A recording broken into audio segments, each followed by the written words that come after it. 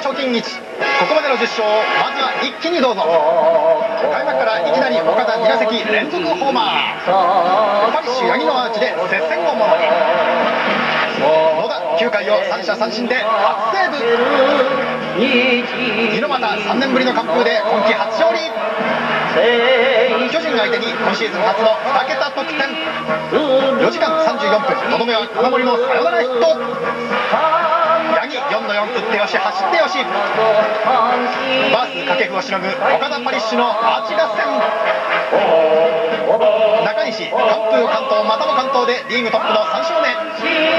そして昨日パリッシュ6号で3連勝2年ぶりの貯金1今日20試合目に勝てば11勝9敗。これは1985年日本一の年の11勝8敗1引き分けとほぼ同じです。ところが地獄に。2年前も10勝10敗でこの年はなんと2年連続の最下位。ターニングポイントになるかもしれない20試合目。中村新監督は今シーズン初登板の島尾に託しました。